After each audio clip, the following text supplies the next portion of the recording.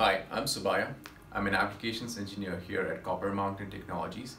Today I'm going to demonstrate how to measure differential measurements on a cable using Copper Mountain Technologies vector network analyzers. Here we have a C1409 vector network analyzer, which is a 4-port 9 gigahertz analyzer. We have uh, an ACM 4520, which is a 4-port 20 gigahertz automatic calibration module, set of test cables, fixtures in order to connect the raw cable under test, and of course a computer running the VNA application software. In general, a VNA performs single-ended measurements, single-ended S parameter measurements, and then the software mathematically converts to balanced S parameters, which essentially contains a differential as well as common mode responses. What we have here in the first quadrant is the differential measurements, and today we'll be just focusing on differential measurements. Here is the nomenclature for the balance S parameters. X and Y indicates the stimulus and response uh, measurement mode and A and B indicates the stimulus and response logical port number. Now let us begin with the measurement process. I will first set configure the channel settings.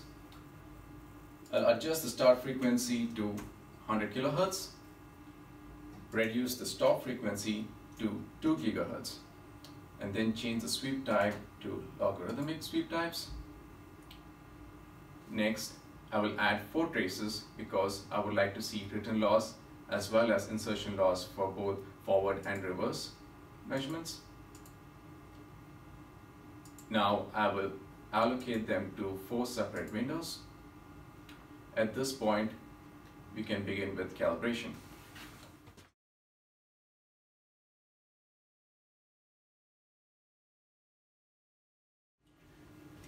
Now we have finished calibration.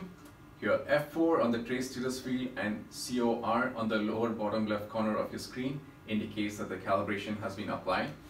At this point, the calibration plane is at the end of the coaxial cable. So the next step is to connect the fixture and then de-embed it. Go to Analysis, Fixture Simulator, De-embedding, select the appropriate topology. So topology C is most suitable here. And then choose the file.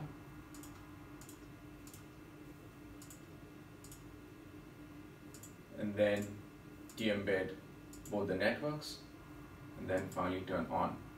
Here, DMB indicates that the de-embedding has been applied. Final step is to turn on balance measurements. So once you turned on balance measurements, by default, all the traces would indicate return loss measurements at port 1. So you would want to change that to see return loss and insertion loss, both forward and reverse.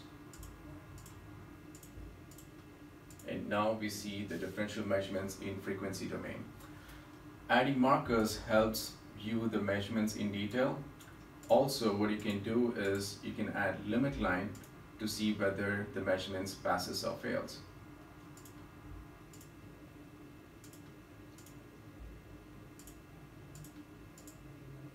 So as you can see, this cable under test passed. Another important feature of a VNA is its ability to measure time domain measurements. Uh, time domain measurements is especially intuitive because it helps the user see impedance versus distance and uh, it's especially useful to identify faults along the cable. So let us begin with the time domain measurements by adding a second channel. Now since we are adding a second channel, we have to repeat calibration, de-embedding, and balance measurements again. So I'll adjust the start and stop frequency. I'll keep the start at 100 kilohertz, stop, I'll, I'll keep that as at 9 gigahertz as well. So the, the rule of thumb here is wider the frequency span, higher the resolution. Next, I'll increase the number of points. For this cable, I'll set it as 801. Again, the key rule of thumb is uh, higher the number of points, longer the distance. So with 801 points, I'll be able to see this 16 foot long cable. Now that we have the channel settings configured, the next step, important step in time domain measurements is to click on set frequency low pass. So what this does is it creates harmonic grid, which is essential in time domain conversion. Once you have the VNA settings configured, uh, the next steps are to perform calibration, de-embed, and then turn on balance measurements. However, in order to avoid repeating the steps which you have done earlier, I will just recall a previously saved channel state. So as you can see, uh, the, the second channel already has calibration, de-embedding, as well as uh, balance measurement on. The next step here is to see impedance versus distance. So I will choose linear mag format and then I will convert this to impedance. Change the scale to 10 ohm per division and then center it around 100 ohms. So obviously it's not perfect at this point. Uh, so the next step is to adjust your time domain settings for your cable. So you choose the unit, uh, I'll choose feet, and I know that the this cable is about 16 feet, so I will choose top feet as uh, 18. And then the type of response, I prefer to see impulse, low pass impulse. And then I will turn on time domain. So yeah, once you've turned on time domain, you'll see impedance along y-axis and then distance along x-axis. In order to identify the exact fault location, you must enter the correct velocity factor as well as the cable loss.